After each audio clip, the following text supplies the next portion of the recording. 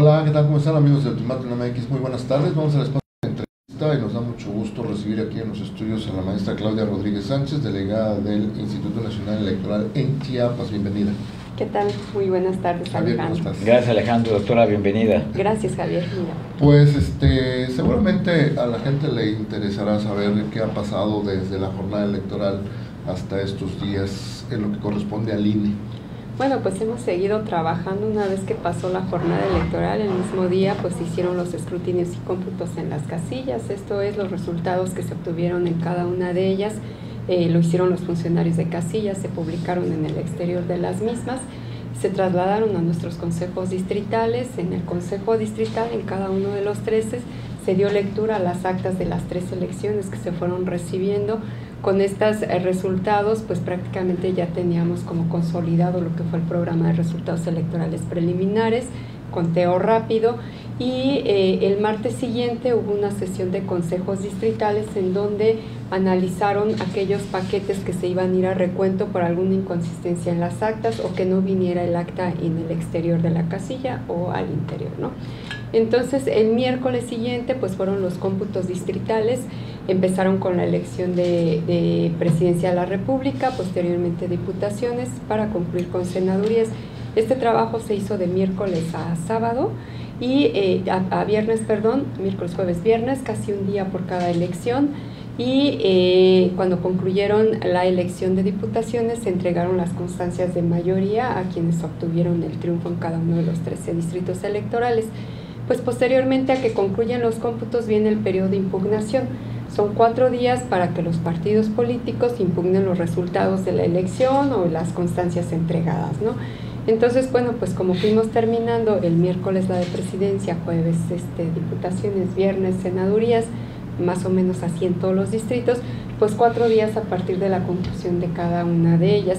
Y pues recibimos las impugnaciones de presidencia de la República en 11 de los 13 distritos, solamente en el distrito 6 y en el 13 no recibimos impugnación.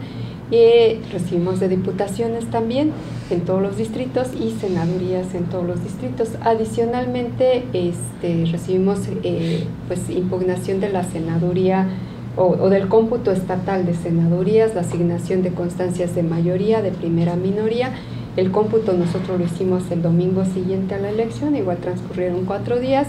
Y bueno, pues ahorita prácticamente estamos sustanciando los medios de impugnación para remitirlos al Tribunal Electoral, a la Sala Jalapa o a la Sala Superior en caso de Presidencia de la República. Y por otro lado, estamos haciendo la integración de los expedientes que debemos entregar conforme a la LEGIPE a la Secretaría Ejecutiva del INE, a la Sala Superior del Tribunal Electoral del Poder Judicial, que ellos son los que hacen la declaratoria de validez de la elección de presidencia, al eh, Congreso de, la Unión, esto es, en la Cámara de Diputados, a partir de hoy se empezaron a llevar las constancias de mayoría, el distrito, en nuestro caso de Chiapas, el distrito eh, 6 y distrito 9 ya hicieron la entrega en la Cámara de, de Diputados, los restantes 11 distritos lo harán el día, eh, el día de mañana, y eh, yo por mi parte haré, la entrega en la Cámara de Senadores el día jueves en las constancias de las fórmulas de mayoría, primera minoría, el expediente correspondiente. Entonces, pues prácticamente con eso es con lo que estamos trabajando ahorita, son pues también trabajos intensos, el postelectoral que realmente ya se pierde mucho de vista, pero finalmente pues es un, un, trámite que debemos de seguir, el impugnativo y la entrega de expedientes a las cámaras para que pues puedan eh, tomar la posesión los, los candidatos, las candidatas electas, tanto de diputaciones como de senadurías.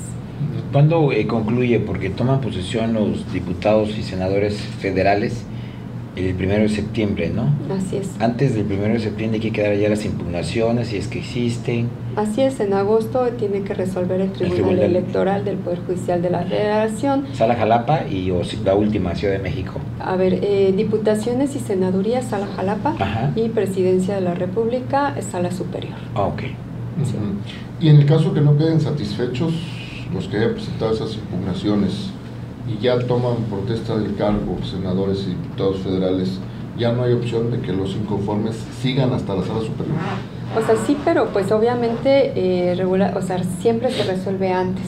antes de que tomen posesión, ¿no? Entonces ahorita la, la, la etapa de resolución también del tribunal pues entra una dinámica muy, muy dinámica para poder resolver. Entonces se tienen que agotar todas las instancias antes de que tomen protesta. Una vez toma protesta, pues es un hecho consumado y ya no se puede cambiar. Estamos viendo que como que ya se acostumbró la clase política a ir por la vía legal, ¿verdad? Ya no hemos visto ni marchas, ni bloqueos, ni plantones como lo hacían antes, ¿no? Este, ¿es, ¿Es correcta esa observación? Sí, efectivamente, pues ya es una evolución que se ha dado a lo largo de la historia y con las reformas que se han dado. Y sí, es la, la, etapa de, de, los tribunales, ¿no? Si quieren revertir algún resultado, pues es en, en, juicios. Ya se van hasta allá, no se van a las calles. No, ya no. Usted es una... ¿Cuántos años tiene en el servicio profesional del órgano electoral? Pues desde 2008, o sea, como que 15 años, 16 años. Con toda una experiencia, toda una trayectoria.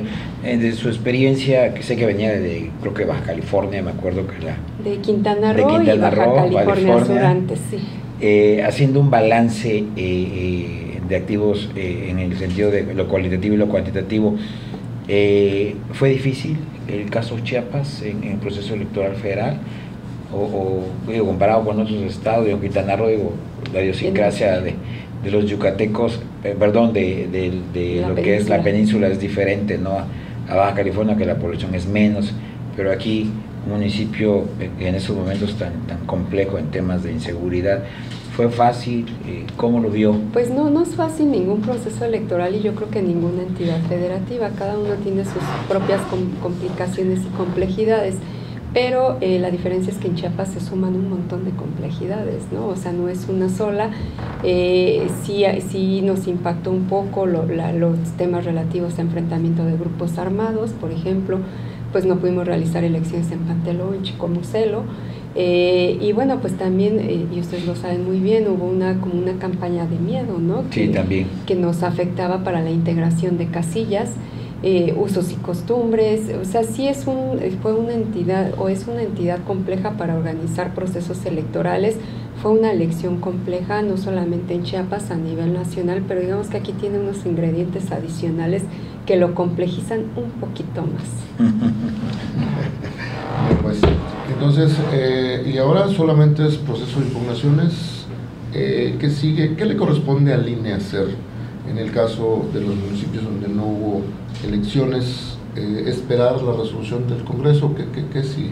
Bueno, como es una elección concurrente, o, bueno, pues nosotros como Instituto Nacional, digamos, las casillas que no instalamos no nos impactan en los resultados de las elecciones, tanto de diputaciones como de senadores. Pero eh, sí, evidentemente, los municipios, y al ser eh, un sistema nacional, el INE en conjunto con el IEPC, en su caso, una vez que el Congreso del, del, Estado emita la convocatoria, pues estaremos organizando la elección. ¿Y qué nos compete en ese sentido? Pues lo mismo que en la federal, ¿no? Integración de casillas, ubicación de casillas. Para hacer la integración necesitamos hacer el reclutamiento, selección, contratación de capacitadores, asistentes electorales. Para la ubicación solicitar las anuencias, capacitar a los funcionarios de casilla, a los ciudadanos que son insaculados primeramente, 13% de la lista nominal, después a los funcionarios designados y por su parte el IEPC pues hará lo que es el registro de candidaturas, este, mandará a hacer sus, boletas electorales, material electoral. Eh, y, y, bueno, pues el día de la elección pues eh, nosotros ah, os instalamos con los funcionarios capacitados en los lugares que ya habíamos aprobado previamente y eh, se hace el escrutinio y cómputo, etcétera. Y cuando termina la jornada electoral y, y, el escrutinio y cómputo llevan los paquetes a los consejos municipales que en su caso designe IEPC. Entonces, seguimos trabajando, seguiremos trabajando de manera coordinada por este sistema nacional electoral, pero con las eh, diferenciaciones en atribuciones de cada institución. Habrá que esperar la fecha que dé el Congreso. En su caso, la fecha que dé el Congreso, sí. Eh, con su experiencia, digo, no quisiera preguntarle muy, frontal, eh, pero sí con su experiencia, ¿qué espera? Viene una reforma al órgano electoral que en unas semanas que es una discusión que ya está en todos los medios desde hace días y ahorita y seguirá. Y yo, yo no dudo que va a ser un tema del Poder Judicial, del órgano electoral, como es el INE. Eh, ¿Qué espera con su experiencia? Pues yo espero que eh, sea, antes de que se apruebe, que sea discutida, que sea analizada, eh, que se valoren adecuadamente los impactos de una reforma tal como ha sido propuesta, puesto que es un, o sea, es, un mecanismo difícil organizar elecciones y cuando se organizan elecciones municipales, ustedes lo vieron, siempre pues jalan todas las elecciones. Entonces a veces la elección federal no tiene ninguna complicación, pero las elecciones locales sí. Ahora bien, con una estructura como actualmente la tiene el Instituto Nacional Electoral sería insuficiente para hacer frente a elecciones federales y elecciones locales.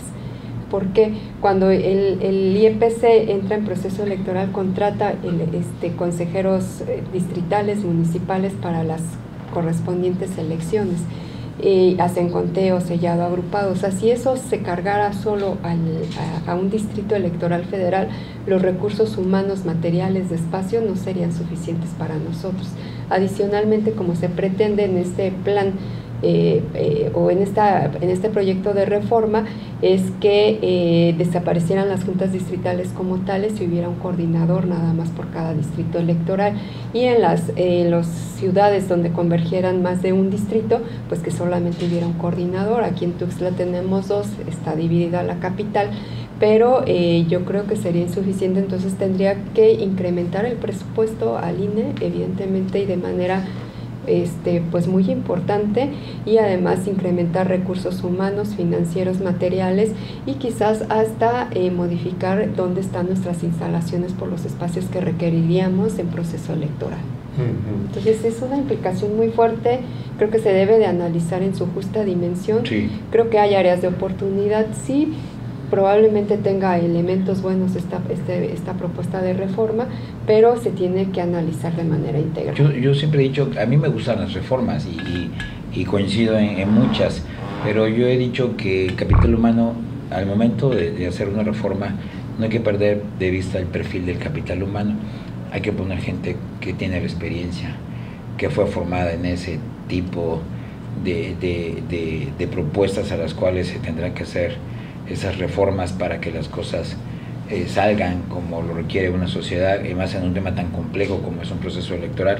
Usted sabe que la democracia en México, eh, esa palabra desde, desde Juárez, eh, Porfirio Díaz y, y, la posrevolución y todo lo que vino después, nos ha costado muchísimo a los mexicanos, ¿no? O sea, no ha sido fácil el, el tema de la democracia que tiene que ver con los órganos electorales.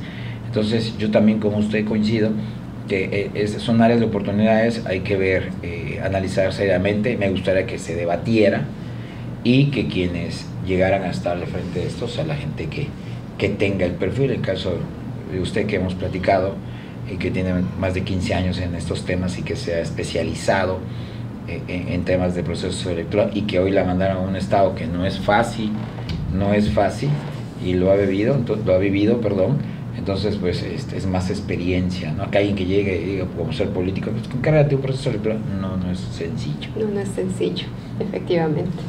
¿Hasta qué fecha tienen para la distribución de las plurinominales, Este, una vez que el, tribunal eh, resuelva, nosotros este, pues prácticamente en el mes de agosto, a finales del mes de agosto, el Consejo General hará la distribución correspondiente, pero también habría que precisar que debe de haber un tiempo justo para las impugnaciones, ¿no? Porque regularmente se impugnan cómo se hace la distribución.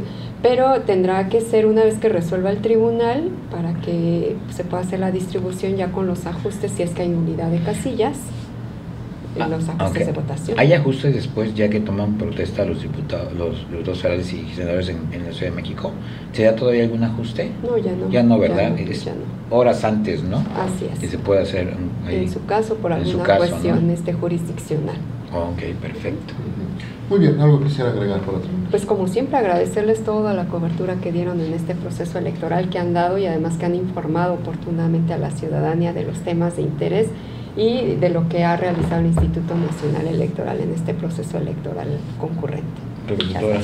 Muchas gracias, Claudia Rodríguez Sánchez, delegada de el INE en Chiapas. Muy amable, buenas tardes. Buenas tardes. Hasta luego.